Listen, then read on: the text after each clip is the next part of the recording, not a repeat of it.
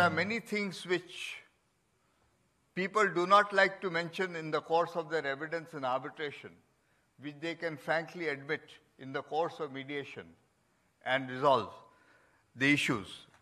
Undoubtedly, the arbitration tribunal cannot be the mediator.